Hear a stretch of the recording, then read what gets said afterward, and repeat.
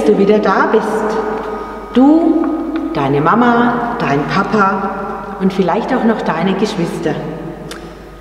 Wir sind an unterschiedlichen Orten versammelt und immer ist Gott mitten unter uns.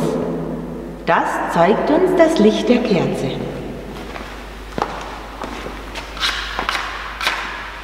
Wie letztes Mal kannst du jetzt zu Hause eine Kerze auf den Tisch stellen und anzünden. Dann sind wir mit dir und du bist mit uns hier verbunden. Wir feiern miteinander.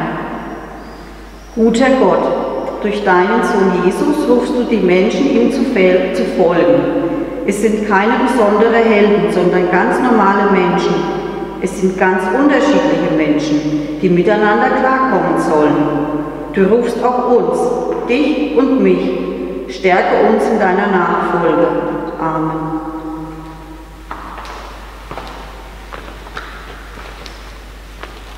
Von unserem A-Team, dem Apostelteam, haben wir ja schon ganz viele kennengelernt. Viele sind Freunde von Jesus geworden und mit ihm gegangen.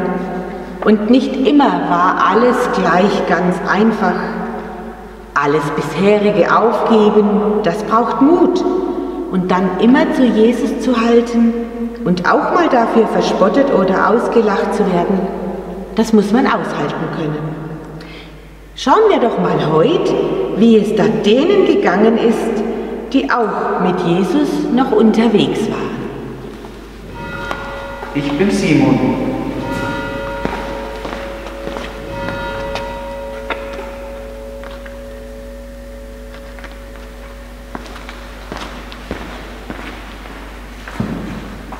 Ich gehöre zu den Zeloten.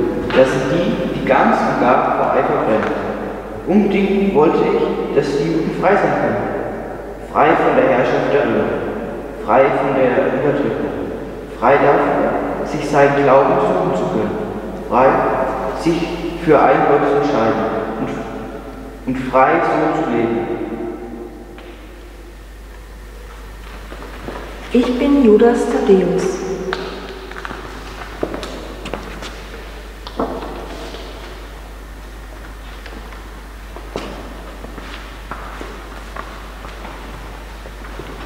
Verwechselt mich nicht mit Judas Iskariot, der hatte Jesus an die Römer verraten. Ich allerdings bin mit Jesus verwandt und mein Bruder ist der jüngere der beiden Jakobus.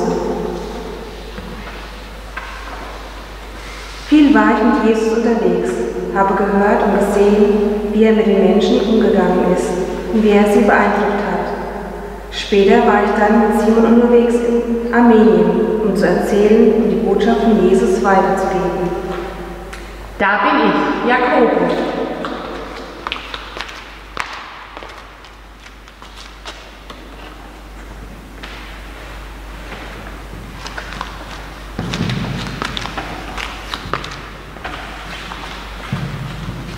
Und weil wir noch einen Jakobus in unserem Team hatten, der älter war, haben sie mich alle einfach Jakobus, den Jüngeren genannt, zur Unterscheidung. Mein Bruder Judas Thaddäus habt ihr ja gerade eben gehört. Ich glaube, ich bin in unserem Team nicht besonders aufgefallen, so wie Petrus zum Beispiel. Aber das muss ja auch nicht sein. Wichtiger war, dass ich immer zu Jesus gehalten habe und ein treuer Freund geworden war, auf den er sich verlassen konnte. Da will ich mich gleich mal zu Wort melden. Ich bin Jakobus, der Ältere.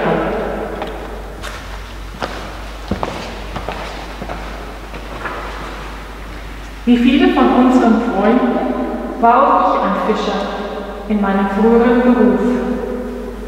Mit Jesus wurde ich dann zum Seelsorger.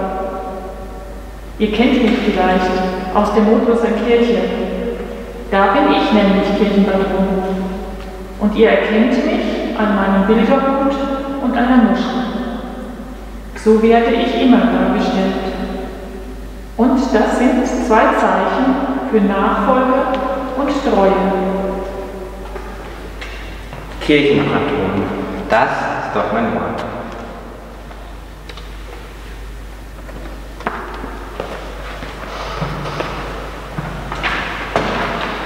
Noch gar nicht lange da wurde hier in der Kirche der Namenstag der Kirchenpatrone Peter und Paul gefeiert. Ja, und der Paul, das bin ich, abgekürzt von Paulus. Mit Petrus wurde ich zu einem ganz wichtigen Mann, obwohl am Anfang habe ich ja gar nicht zu den Aposteln gehört, war sogar ein Feind von allen Christen und habe sie verfolgt. Erst als ich eine Erscheinung hatte, bei der Jesus mich zum Glauben rief, erst da ließ ich mich taufen. Ja, und dann habe ich Gottes Wort in der weiten Welt verbreitet. Ich habe Gemeinden gegründet und unzählig viele Briefe geschrieben. So wurde ich zum zweitwichtigsten Mann nach Petrus. Alle vom Apostelteam, ob bekannt oder weniger bekannt, haben sich von Jesus anstecken lassen, haben sich an ihm ein Beispiel genommen. Als sie schon die Köpfe hängen ließen, weil er ihnen sagte, dass er nicht für immer bei ihnen bleiben kann, da hat er ihnen versprochen, ich sende euch einen, der euch Kraft und Mut geben wird, den Heiligen Geist. An Pfingsten wurde das wahr.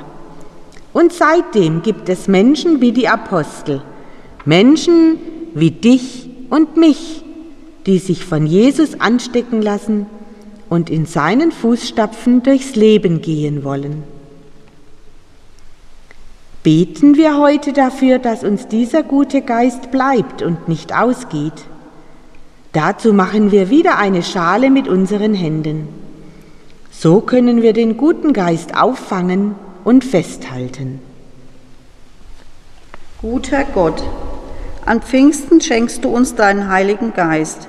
Er soll uns Kraft und Mut geben, dass wir zu Aposteln werden, dass wir heute Jesus Geschichten weitererzählen, dass wir heute so gut zusammenleben, wie Jesus es mit den Menschen gemacht hat.